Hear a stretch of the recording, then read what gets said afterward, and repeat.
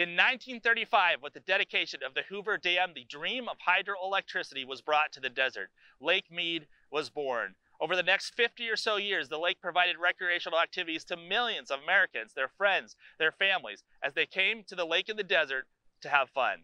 But in 1983, after the lake reached its maximum peak height, there was a problem. The water started to drop. At first, people weren't alarmed, but 39 years have gone by since then, and lake levels have continued to drop year after year, especially over the last 20 years. Officials sounded the alarm on something that might put at risk the power that is supplied by Lake Mead to 40 million Americans, the water that is supplied by Lake Mead to 25 million Americans, including seven different states and even other countries like Mexico. But why did this problem start? What happened with the weather and what led to this rapid decrease? We talked to the National Weather Service in Las Vegas for more.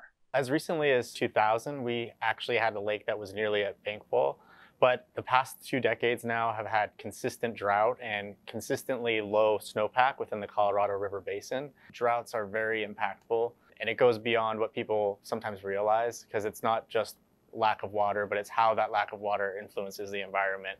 Not only do we have less water, but we have more wildfires and we potentially, when we do get water, sometimes it comes all at once, so it's, it's floods. So there's definitely an extreme to having drought that goes beyond just the lack of water.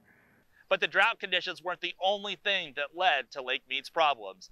Too much water going out and not enough water being returned continued to push the lake levels lower. I'm standing at what used to be the bottom of the lake, and many hazards have shown up since the water has receded, like this shipwreck behind me. Even today, owners of boats trying to come out and enjoy the lake's beauty are still running into problems just launching their boat, yet alone navigating the waters. We talked with one owner about what he's been going through.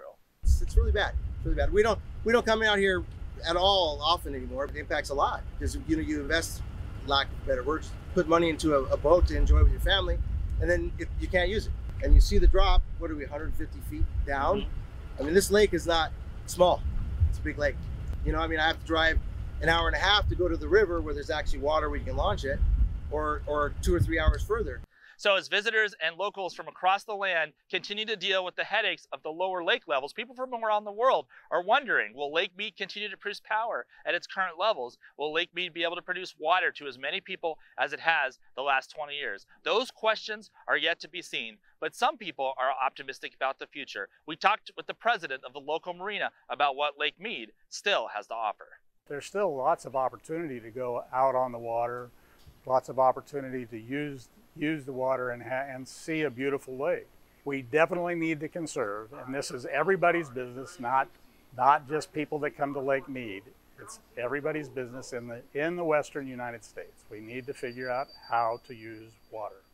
So many are still optimistic about this Great Lakes future. In fact, in July, lawmakers passed a $500 million aid package to help lakes along the Colorado River get back to normal. But what can you do to help? You can visit Lake Mead, bring your family here, go to a restaurant, rent a boat. And if you don't live in the area, if you're in the West in general, limit your water consumption. Take showers instead of baths.